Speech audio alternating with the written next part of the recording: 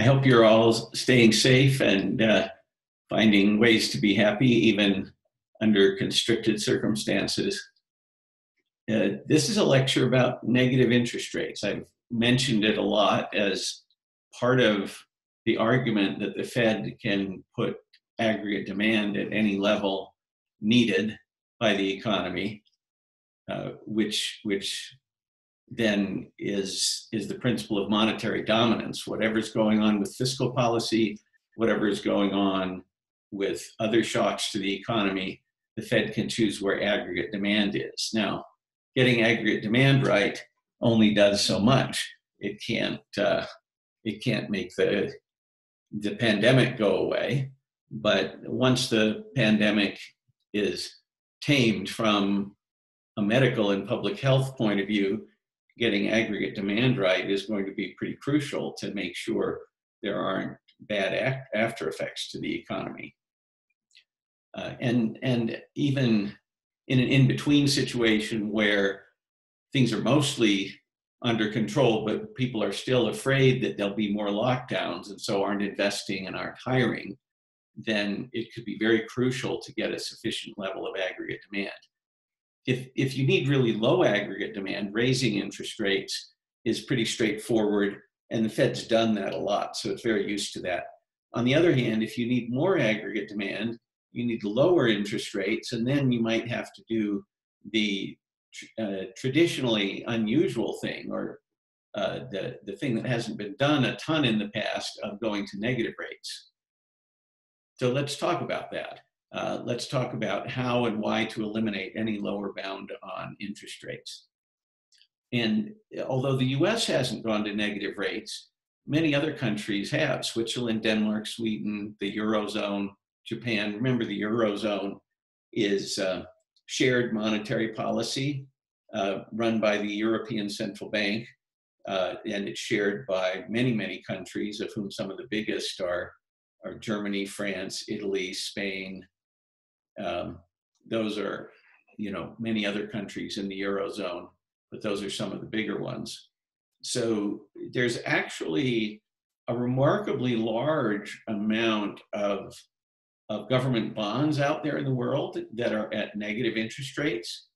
Now, they, they don't have super big negative interest rates. Notice the lowest rate shown on this chart is minus, minus 0.75, minus three quarters of a percent in Switzerland. So these aren't huge negative rates. You know, minus three quarters of a percent is the lowest, but um, uh, but it's a lot of countries and it's a lot of government bonds running at those rates and and there are uh, all, there are some some mortgages that are at negative rates, so they're mostly adjustable rate mortgages. Not you know you can't get a 30 year mortgage at negative rates uh, anywhere at this point, but you can get an adjustable rate mortgage at negative rates, or you have been able to in some of the past years. Okay, so you know negative rates that are pretty small negative rates are actually a very different animal than deep negative rates. Like, you know, minus three quarters of a percent is very different from minus 4%. So uh, there are several issues that can arise at rates below minus three quarters of a percent, but not at mild negative rates. You can get strains on bank profits. You can get large scale paper currency storage, uh, at least in theory. Let's talk about some of those issues in a minute. But first, I want to remind you something I spent a whole lecture on about how rate, cut work, uh, rate cuts work. This is the short version here. Rate cuts work in every corner of the economy to encourage investment and consumption spending, and actually even government purchases, both by shifting the balance of power in favor of those most apt to spend. You, you know, lower rates are lower rates are, are good for borrowers and bad for lenders, so they shift the balance in favor of, of borrowers who are especially good at spending. And uh, in addition to shifting the balance of power in favor of borrowers who are good at spending, uh, lower rates give an incentive to spend. We talked about that. They just make it cheaper to spend now uh, in, in terms of what it's going to cost you and in what you can spend later uh, the lower the interest rate is, the, the less you have to give up later to spend more now. And, uh, you know, one way of thinking about it is in the case of negative rates, the carrot for those for, who spend is coupled with a stick for those sitting on piles of cash that they resist putting to good use. You know, when you need people to spend because the economy is really hurting for more aggregate demand, really needs more aggregate demand, saving isn't such a virtue in that context. We're used to thinking of, of saving as a virtue uh, for, you know, in terms of spillovers for the whole country as well as for an individual.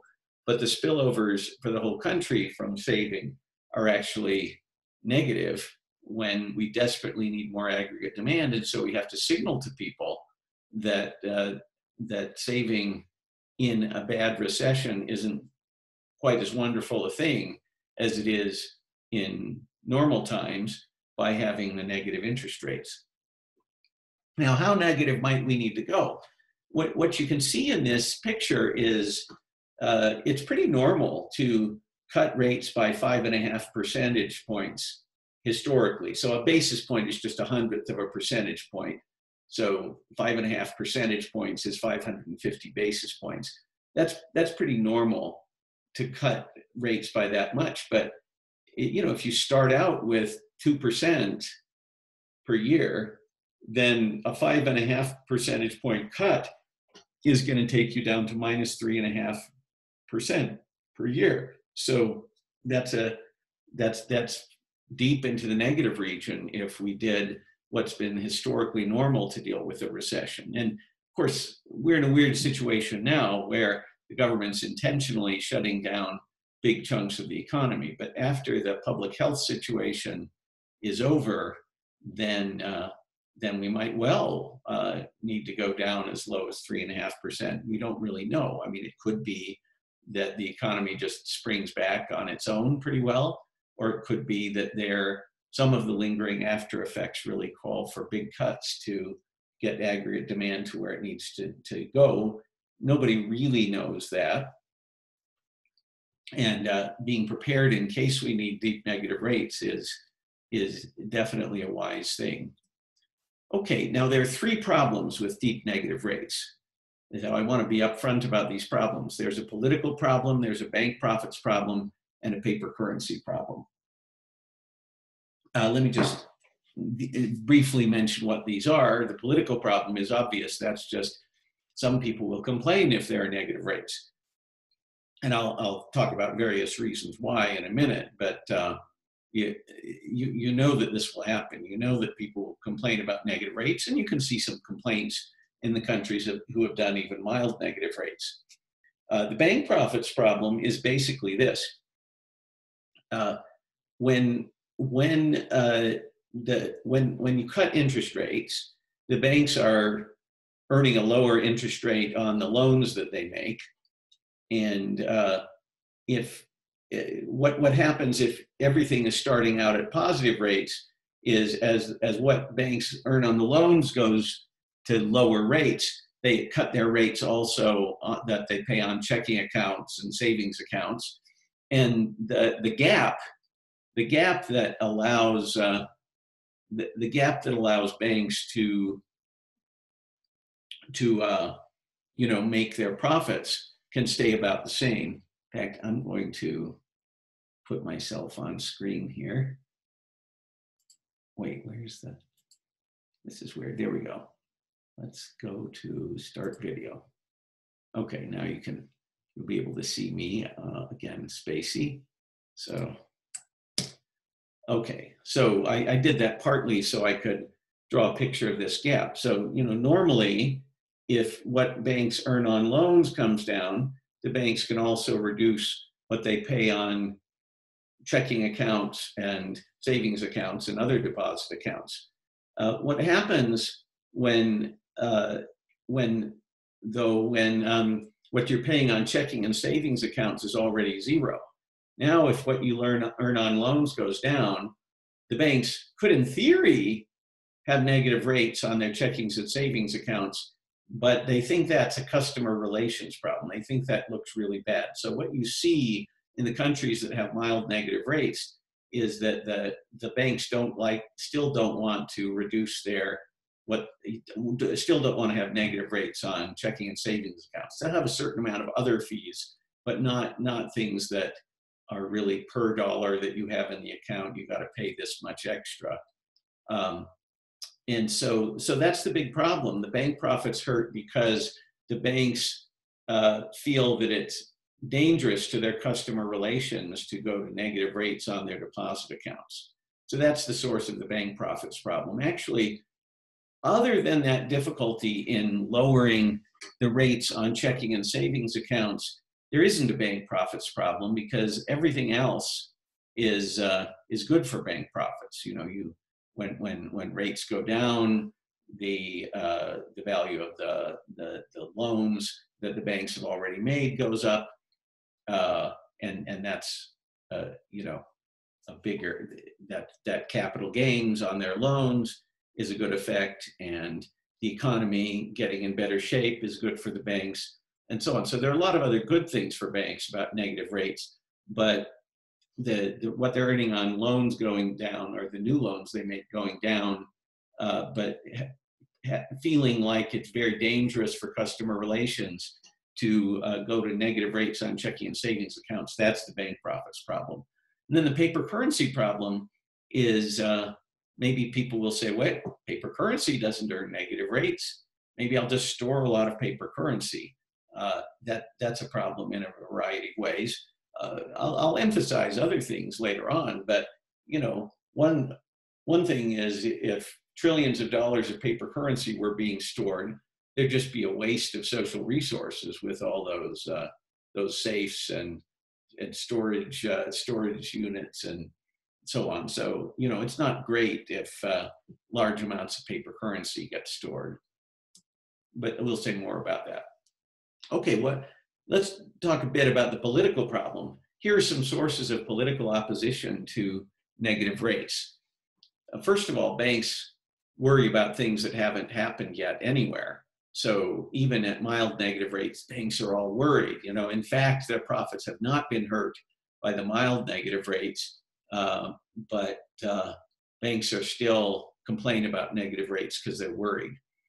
Uh, there, there are some folks called monetary hawks. There's this interesting hawk and dove. You know, hawks are people who want higher rates, and doves are people who want lower rates in in monetary terminology. And so there are hawks who always think higher rates are good. So people who always think higher rates are good are kind of aghast at the idea of negative rates. Um, there are people who are afraid of negative rates just because they don't understand them. They say, How is that even possible? What is that? Now, I hope you by now know the answer to that and maybe stop the video and try to answer it. What is a negative interest rate? Okay, I'll give you my simple answer. You know, it's it's typical for uh, the borrower to pay the lender for using money. Negative rates are just when the lender is paying the borrower for storing their money. So, uh, you know, there was a time in history, in fact, it's reflected in many of the major religions, when people thought it was really horrible that borrowers had to pay lenders interest, you know. So there are rules in several major religions against paying interest, against lenders making borrowers pay interest. Uh, nowadays, we're used to that, but there was a time when people thought that was so awful that uh, you know any any lender who would make a borrower pay interest would go to hell for it. Uh, and the uh, but now we're used to borrowers paying lenders, but we're many people are kind of think it's just awful if a lender should ever pay a borrower. You know, my my view on that is turnabout is fair play. You know, borrowers have been paying lenders for many many years. If if the lenders have to pay the borrowers once in a while, uh, that's that's only that's only fair. Of course, it isn't really fair because it's still going to be more often that the uh, that the borrowers pay the lenders, and it's going to be fairly rare for the lenders to pay the borrowers. But you know, a little of that isn't such a terrible thing in my view. Uh, and of course, there are people who want to save a lot, and so are natural lenders. You know, eh, when eh, in my sto- in my account of why I think cutting rates stimulates the economy, part of the story is that it's hard. You know, it's transferring power uh, from the uh, lender to the borrower. Lenders don't like that. So if you think that you're a lender, you you wouldn't like cuts in rates. And you know, negative rates give you something a little more salient that you can point to and complain about. And you know, there are whole countries that are more savers than other countries on average. Germany is one of them. German, it, it, there really is truth to the idea that that that that Germans save more, and you know you can you can ask why, and there's a uh, you know there's a potential cultural explanation there. It's kind of, it is I, I wouldn't put too much stock in this, but it's kind of interesting that uh, in German the word for debt is exactly the same as the word for guilt. It's uh, Schuld. So schuldig can mean in you know indebted or it can mean guilty. Well, if if if debt is like guilt, uh, that makes it sound pretty pretty awful. Anyway, uh, Germans do save a lot, and given that they're savers, the idea of lower interest rates seems terribly unfair to them.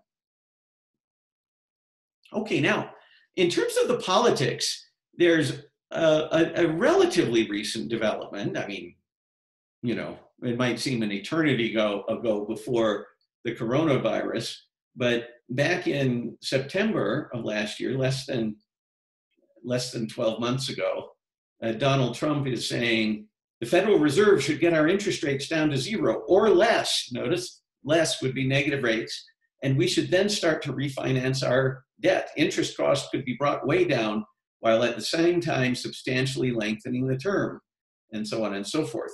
The USA should always be paying the lowest rate. No inflation. Uh, it's only the naivete of Jay Powell and the Federal Reserve that doesn't allow us to do what other countries are already doing. A once in a lifetime opportunity that we're missing because of boneheads. So uh, here he's calling anyone who's not willing to do negative rates a bonehead. Well, you know, I it's not at all clear to me that we should have negative rates now or that we should have had negative rates back in September. But uh, we certainly should be prepared to have negative rates uh, after after we're out of the immediate grips of this coronavirus, uh, in in case that's needed. Uh, here here he is in a in a tweet uh, one day later saying, praising the European Central Bank, saying it acted quickly, cuts rates 10 basis points. That's a one tenth of one percentage point. They are trying and succeeding in depreciating the euro against the very strong dollar, hurting US exports. And the Fed sits and sits and sits. They get paid to borrow money while we are paying interest. So praising the European Central Bank for negative rates. Okay, now notice, notice uh, that I got into a minor controversy here for uh, saying something nice about uh, this this tweet by President Trump, and uh, and I said, uh, you know, Trump's support is important because if suppose suppose that the Democrats mostly understood the case for negative rates, the Republicans have historically been more more hawkish, more in favor of higher interest rates generally. Uh, and so if, if Trump's support for negative rates can bring around some Republicans, now you've got uh, a majority of Congress willing to go along with negative rates. Uh, okay. That's a, a bit about the political problem, but let me combine a solution to the bit, political problem and, and the bank profits problem. Okay, so the bank profits problem is really, really, really easy to solve because it's very easy. You know, the the Fed or other central bank has a lot of dealings with commercial banks.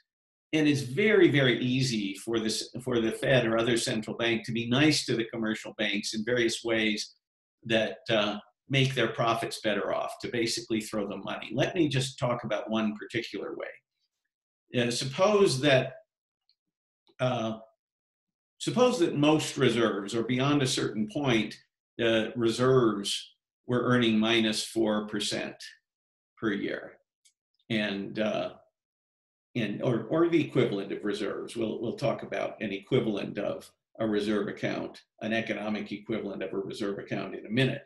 But, you know, uh, reserves are the moral equivalent of reserves beyond a certain point earn minus 4%. But if there's a certain amount of reserves that can, doesn't, isn't charged the minus 4%, uh, but has a zero interest rate, then, uh, then the bank's profits are higher than if it's having to pay the Fed for the entire amount that it has in the reserves. So by letting banks have some amount of reserves that are not subject to negative interest rates, central banks can help banks remain profitable. Now, what I would recommend, and this is the next big step in negative interest rate policy, in my view, because it's it's reasonably plausible that a central bank might do this. Um, I'd like to have the amount that banks can have in reserves that earns a zero or positive rate be tied to the amount of small household deposits a bank has. Uh, you know, deposits meaning checking accounts and savings accounts and things like that. If if the Fed did this, then banks would be incentivized to not have negative rates for small household deposit accounts. Now, already they don't want to do this, but not only would it give them the incentive because the more small accounts they had, the more the more they get this above market rate, like market rates minus four percent, zero is above minus four percent. So that the if, if, the more if you make it so the more small accounts they have, the uh, uh, the, the more money they have in small accounts, the the more they can get zero on instead of minus four percent. Then they're going to want more small accounts, and so they'll be happy to give a zero interest rate on those small accounts or, or you know, give a better deal on those small accounts. And, um, you know, maybe they'd have some fees, but they could basically be okay with zero in them.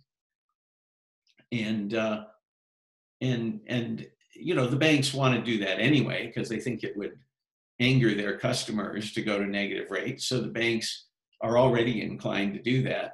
So I don't have any doubt that they do that if they're incentivized in this way, and they would be able to afford it because of this, you know, profit support from the Fed.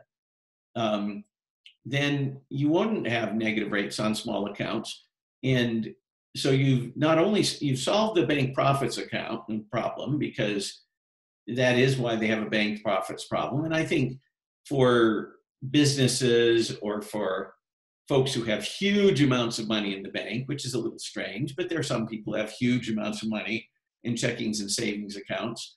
I think that the banks could get away with having negative rates on them. They say, look, you can have zero up to this amount, but beyond that, I'm sorry, you know, Fed's charging us, we're going to have to charge you. I think they could explain that to people who had a million dollars in their checking account. Very weird thing to have a million dollars in the checking account, but some people do it. Okay, but notice not only does this support bank profits, it avoids the biggest political danger to the central bank from negative rates. The biggest political danger is news stories about regular people getting negative rates in their in their bank deposit accounts, the checking accounts and savings accounts. You do not want those news articles. You know, if you can explain, oh, it's only when people have, you know, a large amount of money, fine. But if you have a lot of regular people who sound relatively poor getting negative interest rates in their checking account, I promise you that will sound very bad for the central bank.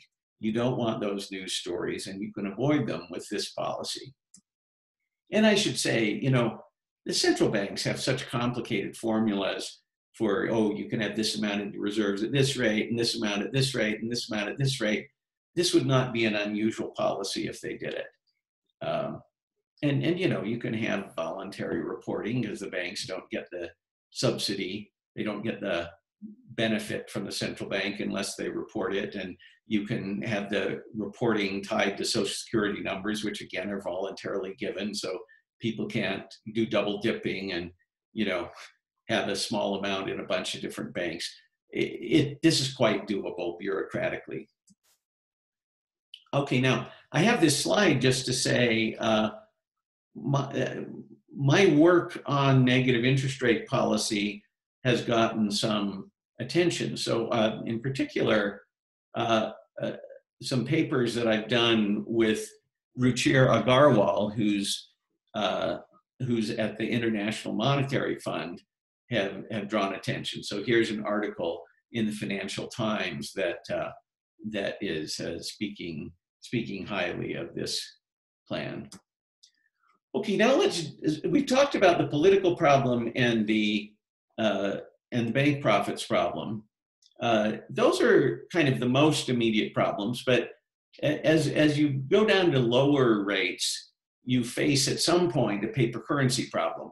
No one knows how low rates would have to go before people would start storing a lot of paper currency. What we do know is that at minus three quarters of a percent, there isn't a, a, huge amount of paper currency storage. You know, it might have to do with some other wise policies that the Swiss National Bank is doing, for example. But but anyway, if you if, if you do some of the thing, you know, at, at any rate, Switzerland doesn't have a big problem of paper currency storage. I'm not saying nobody is storing paper currency, but it's not a huge amount. Okay, so here's how I propose, and, and you know, again, this is something I've written about in these papers with Ruchir Agarwal. Here, here's, oh, sorry, I got to talk about what the paper currency problem is before resolving it. But actually, as I go through this, you should think about what some possible solutions are. Basically, you have to get in the way of what I'm talking about here. So the paper currency problem arises from the following. The following scheme can earn a zero interest rate minus storage costs. And okay, you got to be a bank that has dealings with the Fed.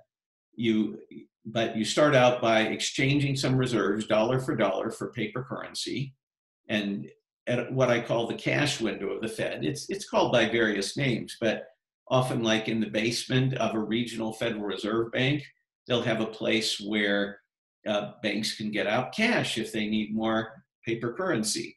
But anyway, the, so the bank takes out cash, and of course it gets debited in its reserve account um, at, at, at this cash window at the regional Fed. And then you store the paper currency, and then maybe a couple years later, you come back and you exchange the paper currency dollar for dollar for reserves. So you've turned each dollar into one dollar minus whatever the storage costs are.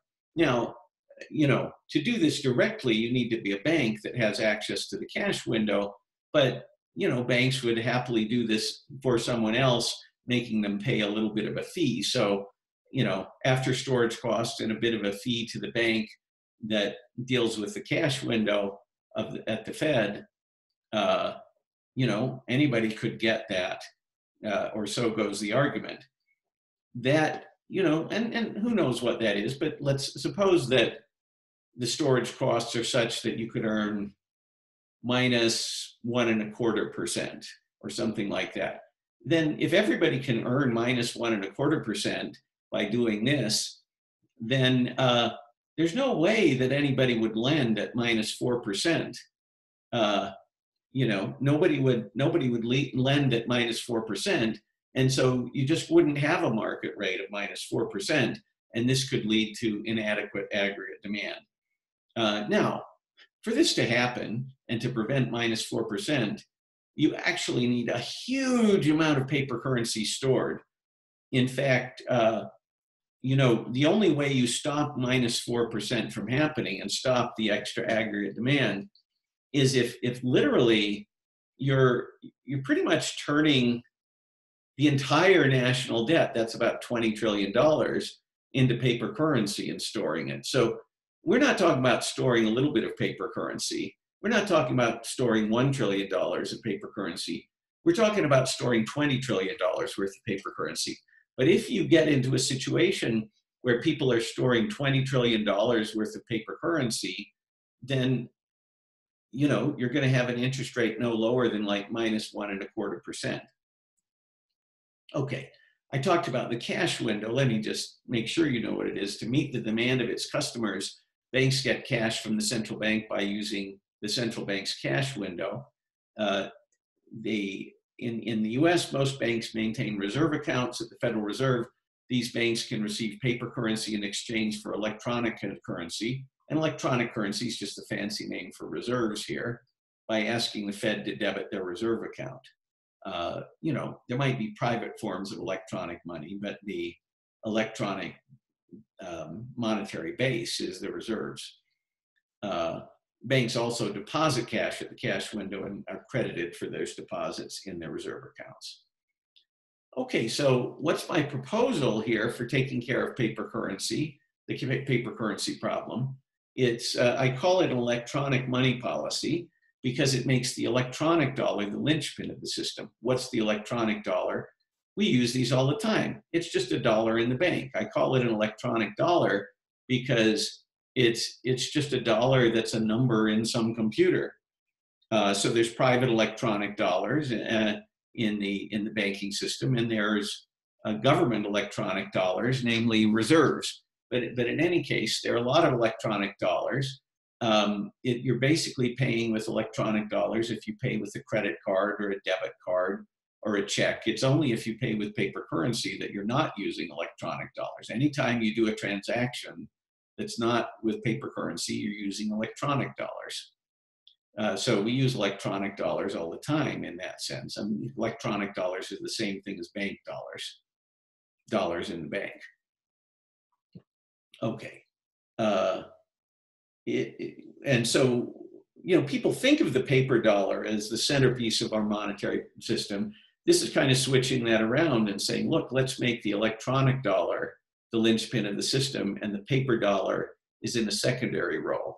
So the basic idea is to combine uh, creating a negative paper currency interest rate, or to make it so that people kind of lose money on holding paper currency by having a time varying deposit fee at the cash window. I will explain more.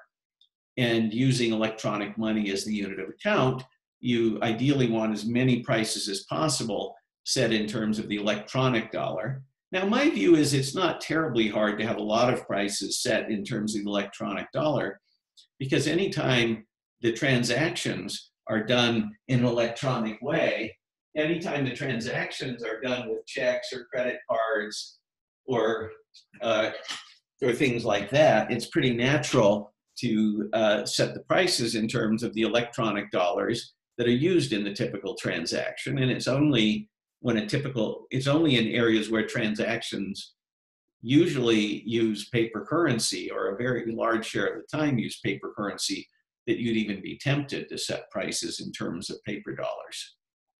Okay, so I do have to explain, but the idea is, you know, a paper dollar isn't going to be worth the same amount as an electronic dollar coming up. Okay, uh, so this electronic money policy is equivalent to an exchange rate at the cash window. You know, it's not a dollar, eh, you know, one paper dollar is going to be worth less than electronic dollar. Like a paper dollar might be worth 98 electronic cents. So I call I, I say that's like an exchange rate at the cash window. We're trying to get something that's very much like the current monetary system, but has no paper currency problem. So we're not trying to change everything in sight. I'm trying to have as small a change as I can that'll make it so that uh, we can have deep, deep negative rates if we need to to get aggregate demand to what it has, what it should be. So we don't have any extra regulations or quantity constraints. People can use as much paper currency as they want. We're not banning paper currency. We're, we're not putting any limits on how much paper currency people can have. Uh, we just have an exchange rate with paper currency. One nice thing about this kind of policy is that if you do just a little bit of it, people will hardly even notice. Uh, so, you know, if you had, um, you know, suppose you had minus five basis points for two years, then it's like a tenth of a percent. So when banks came in, in terms of a deposit fee, after two years, if banks came in to deposit $1,000, then they'd be credited with $999 in their reserve account. You know, that tenth, one tenth of 1% is not going to totally change everything in the economy. You know, if you use a small dose, it's not going to change everything. Now, on the other hand, maybe you need a lot of extra aggregate demand, then you need a big dose. And getting the paper currency out of the way means you can have a very big dose of negative rates, minus 4%, minus 7% if you need it, If you really needed minus 10%, you can do that too. Uh, you know, maybe that's never ever needed. So you never go to minus 10%, but you could if you needed to.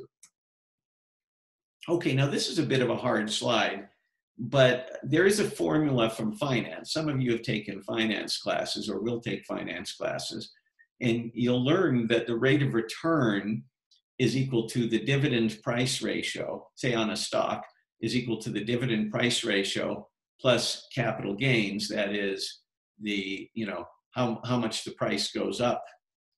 Uh, so anyway, this is, uh, if, if you haven't ever learned this, don't stress over it too much. But uh, the point is there, there is historically, uh, Silvio Gesell wanted to make people put little stamps on the paper currency to have it continue to be worth its full value. And those little stamps were like a bit of tax on the paper currency. That's like having a negative dividend here. That's not the proposal here. The proposal here is to affect the rate of return on paper currency by having its price change. If the price is going down, that's a capital loss, and that gives you a negative rate of return. Okay. So, and so anyway, capital gains, and that's more like a guy named Robert Eisler. So these are, guy, you know, Silvio Gesell was uh, there early in the 20th century. Robert Eisler wrote a book in like 1932. Um, we're going to use create an exchange rate at the cash window using a time-varying deposit fee. Finally, I'm going to explain how this works. Here we have um, an alternate history. You know, there's a nice genre of science fiction where where you think, what if? You know, what would have happened if uh, um, you know if uh, Hannibal had beaten uh, had, had beaten the Romans? You know, of course, even on uh, there, there's a TV series called Man in the High Castle. That's like, what if what if uh, Hitler had won World War II? what would have happened? Well, uh, here's an alternate history, much, much brighter than, uh, actually brighter than the history we actually had instead of darker. So suppose that you'd said, wow, in 2009, instead of the zero rates we actually had, we should have had the, the Fed's target rate minus 2%. And then suppose we had a quicker economic recovery so that by 2011 we could go to zero and then we could go up to 2% in 2012 through 2015. Now, one interesting thing about this is, you know, what actually happened is rates were basically zero in all of these years. If you add up these rates, this is better for savers than what actually happened.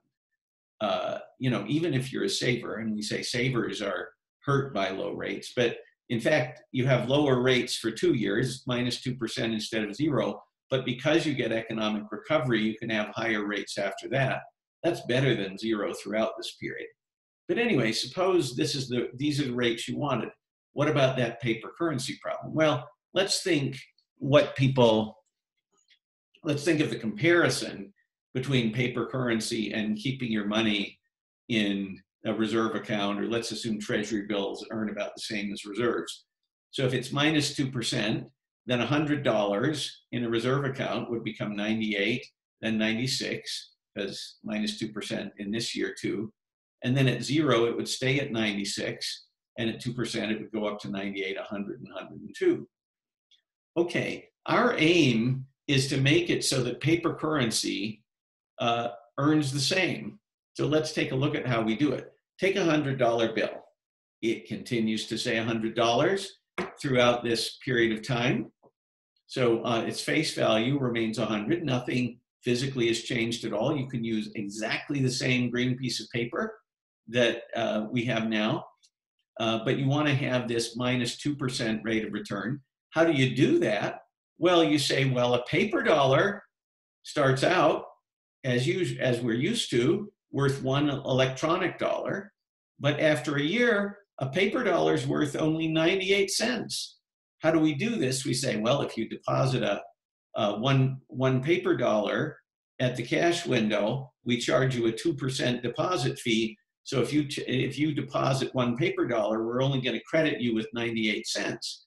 On the other hand, if you want to withdraw a paper dollar, we're only going to charge you 98 cents. So you know, in both directions, we're going to treat you know we're we're we're going to exchange one paper dollar for 98 electronic cents. Oh, we could call it a deposit fee and a refundable deposit fee, but it's economically equivalent to an exchange rate that makes one paper dollar equal to 98 cents.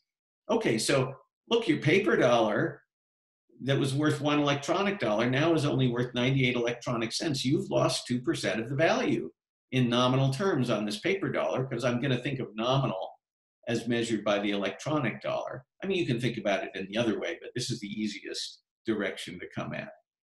Uh, then uh, you know, after another year, minus 2% again, how do we get that to happen?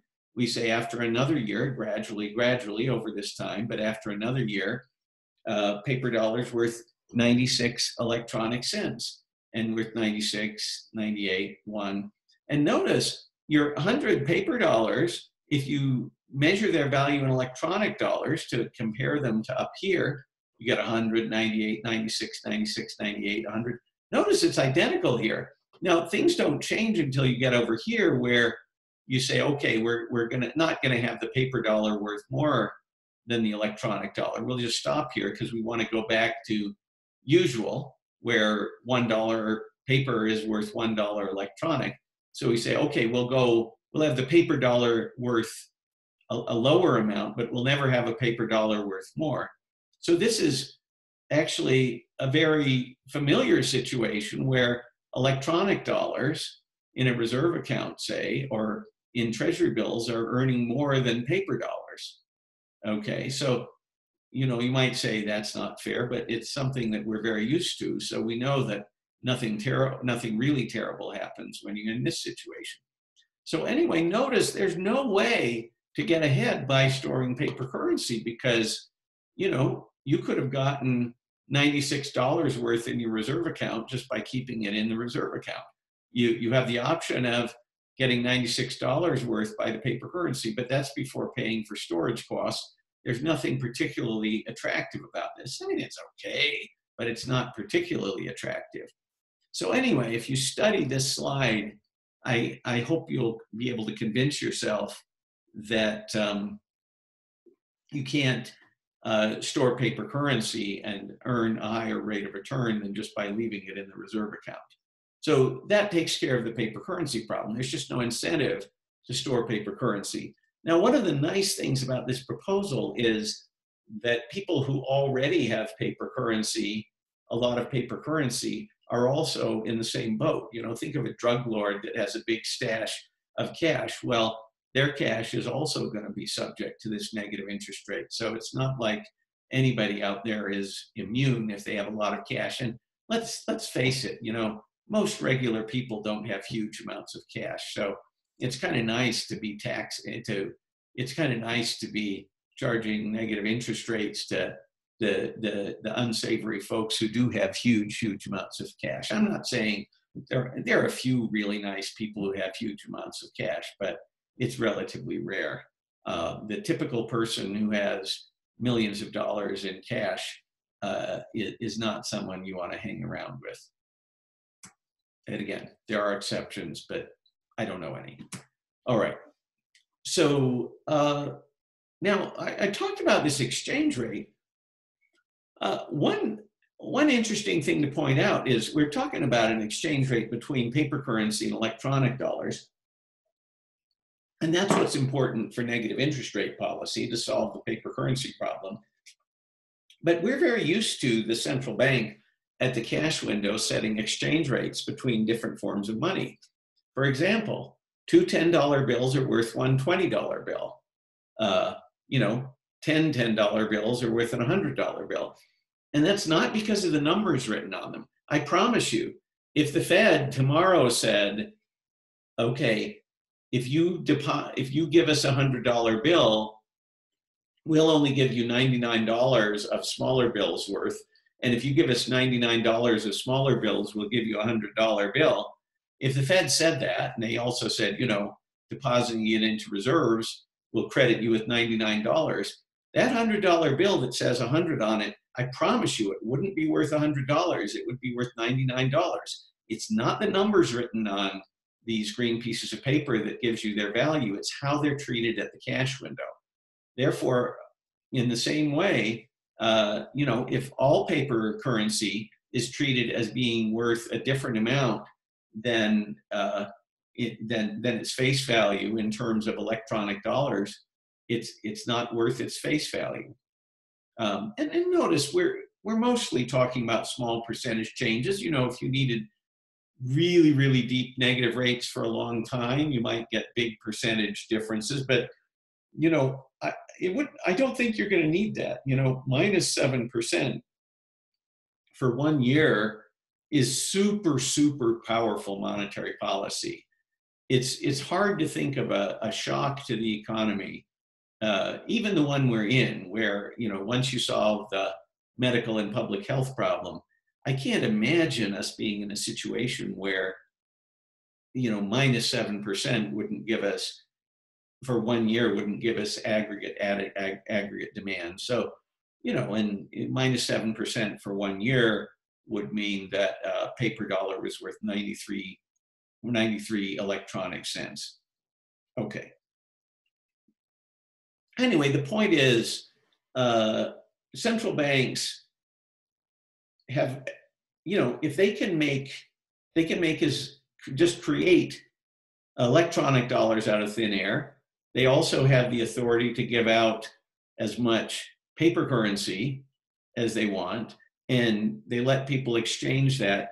If you have the unlimited ability to create two types of money you can set the exchange rate between those two types of money uh, you know both of these things are within your power you can you can create the exchange rate. We're very used to that with like two $10 bills equaling two $20 bills. Why is that true? It's because because the Fed can make as many $10 bills as it wants. Actually, it asks the Mint to physically create them, but then it has them in its vaults and is allowed to give them out as much as it wants. So the Mint, I, the Mint will make as many 10 and $20 bills as the Fed asks it to. And, uh, and so uh, given that, uh, the Fed sets the exchange rate, and the Fed has decided that two $10 bills are worth one $20 bill. Very logical thing to decide, but nevertheless, they've decided it, and if they decided something different, the exchange rate would be different. Okay, so the bottom line here is the Fed can set the exchange rate or the effective exchange rate between paper currency and electronic dollars so that they can do this. And if they do this, there's just no point in storing huge quantities of paper currency, which was the thing we were worried about. And, and, and again, you know, it's like if somebody doesn't understand this scheme and stores a bit of uh, paper currency, fine. You know, what we're trying to avoid is people storing trillions of dollars worth of paper currency. Okay. Uh, okay, now, um, one of the most exciting things for me lately has been working with um, Dave Wishnick on negative interest rate law. So we're, we're working on paper that we intend to try to put in a, um, in, in, a, in a law journal. Now, why is negative interest rate law important? It's important because the political problem is sufficiently big that I think it would be difficult to let, get legislation through that explicitly authorized negative interest rates and changes to paper currency policy. I, I'm not at all banking on legislation that explicitly says, oh, the Fed can do all these things that I talked about. So, therefore, it's quite important to know whether the Fed, under existing authority, can use negative rates and change paper currency policy. Now, you know, obviously Congress could, you know, pass try to pass a law, and if it wasn't vetoed or they had overrid overrode the president, they could have legislation that clipped the Fed's wings and uh, you know reduce the Fed's current powers. But you know, it's actually not that easy to pass legislation in the United States. There's there's a lot of ways to block new legislation, and uh, you know, one House of Congress can block it. The president can usually block new legislation. You know, so it's uh, you know there are lots of ways for individual senators and Congress people to slow down legislation. So so I'm the way I'm coming at it is imagining a situation where you can't get new legislation passed to increase the Fed's authority, but you also can stop legislation that would reduce the Fed's power. The question then is under current law, what can the Fed do in terms of negative interest rates? Okay, so some, some people argue in the text of the law that the Fed can't have negative interest rates on reserves. But the Fed doesn't need interest rates on the reserves. Here's an alternative that's legally different, but economically just as good as negative interest rates on reserves. What the Fed can do is uh, already the Fed has reserve requirements that have minimum reserves. What if they also have a maximum amount of reserves? So it's like, I mean, you could get all tech, you could get into the technical details. I mean, it's like during the day, banks could have as much reserves as they want, but at night there's a maximum amount of reserves that they could have and you say, what in the world are the banks going to do with those trillions of dollars worth of money uh, uh, of, of, reserves that they have during the day? Well, you say, hey, you can uh, you can basically lend them to the Fed at a negative interest rate, and uh, you know the typical way such lending would be done would be with with uh, treasury bills as collateral. So you don't need to know all the details there, but you have some use treasury bills as collateral, but basically you say, well, you can lend in this other way, and you, know, you can't lend to the Fed more than a certain amount in reserves, but you can lend to the Fed in this other way with treasury bills as collateral, and uh, that can have any interest rate. So that's not a reserve account, so it's not subject to if if now, not everybody agrees on what the law says, but if, if you do read the law to say you can't negative, have negative interest rates on reserves, there's nothing in that law that says you can't have negative interest rates lending against treasury bills, which is different from reserves. Uh, so uh, the uh, so anyway, just by having the cap on reserves and uh, you know then allowing the banks to lend at negative interest rates beyond that cap, you get the same economic effect as if you'd had a negative interest on reserves. In fact, the other thing that you've done is it's it's equivalent to negative interest rates on reserves on the last dollar, but notice you effectively have a certain amount that's at a zero rate. Uh, you know what's in the reserve account technically is at a zero rate, and what's kind of economically a lot like reserves, but is but is you know lending against treasury bills is um, is instead at a, at a at a negative rate.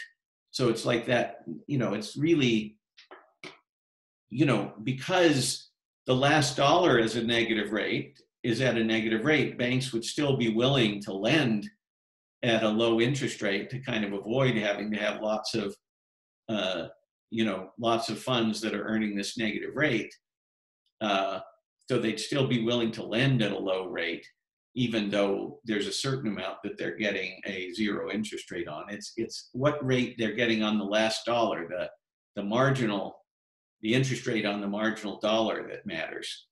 Okay now here's a tiny note here which isn't super relevant to these things up here but I, I want you to understand that you know, the Fed would still be doing open market operations. It would be buying and selling treasury bills. Uh, remember how it works. They need to they need to have a big enough monetary base so that you're on the flat part of that demand for the monetary base where the interest rate is basically determined by the interest on reserves. Uh, and I said say interest on reserves, but now it's this interest rate on this overnight facility of lending against treasury bills. Um, and uh, and and so uh, you know the Fed would still need to be buying Treasury bills. And what does it look like to have, um, say, a minus four percent rate on Treasury bills? Well, that's like you know, if the face value of a treasury bill is a thousand dollars, that's like the Fed paying, uh, you know, a thousand and ten dollars or one percent above face value. One percent above face value, the treasury bill pays off as face value three months later. So if the Fed is paying that much for treasury bills, they're losing 1% of their value in three months. If they lose 1% of their value in three months, that's 4% lost value in nominal terms in a year. So, so anyway, just paying high prices for treasury bills is a negative rate on those treasury bills. And uh, the Fed would be doing some of that, but it needs to have an interest rate in this overnight facility that's kind of a substitute for reserves that's also at minus 4%. Now, what about the changes to paper currency? Well, legally, there are two arguments that the Fed can change how paper currency is handled at the cash window. The first is simply that the Fed has great authority over the reserve accounts it provides. It ought to be able to impose conditions on depositing paper currency in a reserve account. It's not like it's not like commercial banks have some absolute right to be able to deposit whatever they want into the reserve account. If the Fed says, look, okay, you can deposit that much, no problem. But if you want to deposit more paper currency than that, for example, you're going to have to pay a deposit fee. Uh, probably that could stand up in court. And quite honestly, it's not that easy to sue the Fed the courts are not that sympathetic to folks wanting to sue the Fed. Sometimes they, they do it. Uh, sometimes they're not thrown out of court. But, you know, to have what's called legally standing, to have the right to sue the Fed is a tougher thing than you might think. Uh, the other, so, so anyway, the Fed being lord over its reserves accounts is one argument because this is just a deposit fee for depositing paper currency into the reserve account um, you know, a, depo- a deposit fee is equivalent to an exchange rate, but for legal purposes, calling it a deposit fee seems like a good idea. The other argument that the Fed could change paper currency policy in the way that I talked about is that the Fed is allowed in, in law to charge fees commensurate with the costs it incurs in dealing with paper currency. Now, there's no question that the people who wrote the law had in mind things like the Brinks trucks that are transporting paper currency, and the Fed can, you know, charge a fee for that. But uh, but um, the law actually refers to fees a little bit more generally than that. And the argument here is, you know, suppose you're you're earning a higher interest rate in effect by storing paper currency, uh, you know, taking out paper currency from the cash window, storing it, putting it back in than you'd earn in uh, the overnight facility where, the, where you're lending to the Fed uh, and, and it's giving you treasury bills as collateral. The, um, that, that's called an arbitrage profit if you're kind of borrowing at a low rate and then, then earning a higher rate. So if you're earning a higher rate on paper currency than the going interest rate, uh, you know, it's like you're earning these arbitrage profits. Where are they coming from? you know, you say, oh, from the money tree. Uh, but what is the money tree here? The money tree here is the Fed. Every bit of arbitrage profit is at the expense of the Fed's net worth, and so is a genuine cost to the Fed. You know, paper currency arbitrage profits don't come out of nowhere. They come out of the hide of the Fed financially. And because they're coming out of the Fed's hide, the, the law that says it can charge you know, I would argue the law that says it can charge fees and commensurate with its costs comes into action. It's like it's really costing us to let you use the paper to, the, the cash window in this way. So we can we can charge you an appropriate fee for that cost to us. So anyway, those are the two arguments. These are this is still something we're working on, but uh, so this is more a teaser than the real thing. But uh, but I thought you might be interested. Okay, now one one thing you might say is, wow, this is a huge change. Can we change things this in this big a way? I just want to remind you a bit of the history of the monetary system. Just in the US, we've changed major, major things about every 50 years. You know, we, we uh, back in the middle of the 19th century, we had a gold and silver standard. And then uh, in 1873, we uh, went to just a gold standard. William Jennings Bryan, in his Cross of Gold speech, called this the the uh, crime of 1873. Then, um, you know, then we had a gold standard for a long time. The gold standard weakened somewhat, especially uh, FDR was the best thing that FDR did to get us out of the Great Depression was to weaken the gold standard in the US. And uh, he really did a lot towards that. So that's where he gets the most credit. You know, the stuff that you probably learned in the history about what uh, Franklin Delano Roosevelt did to get us out of the Great Depression, that's not the important stuff. The important stuff was weakening the gold standard. That's the big thing FDR did and what he deserves a lot of credit for. The other stuff was minor in comparison and in terms of getting us out of the Great Depression. Okay, so then uh, the gold standard was somewhat weakened, but we had fixed exchange rates. That means, you know, certain number of pounds per dollar, certain, the euro didn't exist, but certain number of pounds per dollar, certain number of pesos per dollar. But then one day in 1971, Nixon woke up and he said, ah, I don't want to have fixed exchange rates anymore. And over the course of about a year, Nixon blew up the fixed exchange rate system. Um, then, you know, we actually do have negative interest rates uh, without any big change to, to paper currency policy now in many countries. So things are shifting. And, and then let me jump over for a minute uh, this, what I've got in blue some people talk about a cashless economy, no paper currency in the system. That could work, but that's not what I'm talking about. Let's say that's down the road. I say maybe 2045 or something. The beauty of the electronic money system I'm talking about is you could do it tomorrow. You could do it tomorrow. It's just an instruction to the cash window. So you can use the same physical pieces of paper, you know, getting to where people don't need to use cash at all there's some serious adjustments there. But having uh, an exchange rate slightly different from one to one, eh, that that people could adjust, and certainly the uh, the the Fed or other central bank can implement it very quickly because as long as the folks who run the cash window will obey uh, Jerome Powell or whoever else is, or, or the you know the um, uh, Federal Open Market Committee, then uh, it's it's there. It's bureaucratically very easy. Send down a spreadsheet to the cash window for what the uh, what the paper currency deposit fee is. Give them a few other instructions like that it's refundable. You're there. Okay. Uh, now you might say, "Oh wow, this will never happen," but it, it's come a long way from where we started. You know, here's a bit of history. We have mild negative rates. Uh, there was a 2015 London conference on removing the zero lower bound on interest rates. Um, next day, there was the chief economist workshop where where uh, Ken Rogoff and I gave gave talks on negative interest rates. Uh, you know, the Bank of England's chief economist at the time gave a speech in favor of negative interest rates. Ben Bernanke, uh, after his time at the head of the Fed, has had blog posts in favor of negative interest rates. There's a Brookings conference. Uh, there was a talk at the famous Jackson Hole conference uh, of, of, about monetary policy. Uh, Ken Rogoff published a book, The Curse of Cash, where he talks about the electronic money system that I that he talks about.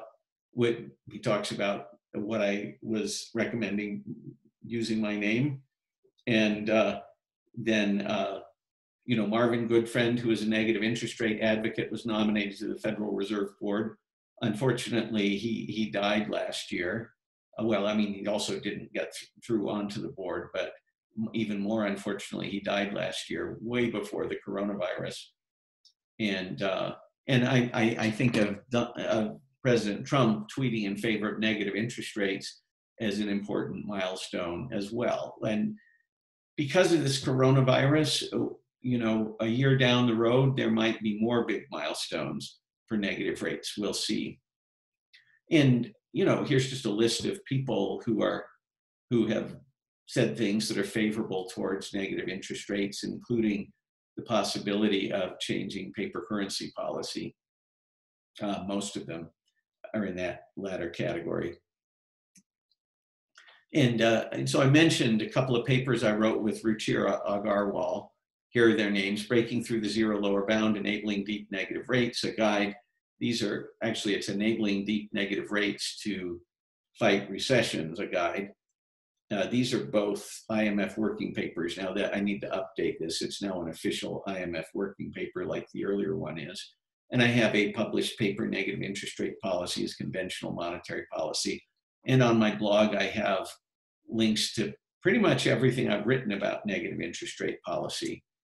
And among those many things I've written about negative interest rate policy, I've even got a children's book. So you can you can find that there on uh, on this bibliographic post. You'll be able to find that. Uh, Gather around children is uh, here's how to heal a wounded economy. So take a look at that. And uh, thanks for thanks for listening. That's uh, that's that's it for now. And you are now officially, if you've if you've watched um, this and and um, the the one on uh, on percentage changes and things that are measured in percent, uh, plus everything that came before that, you're now uh, you're now basically prepared to do the practice exam. So good luck with that and and stay safe.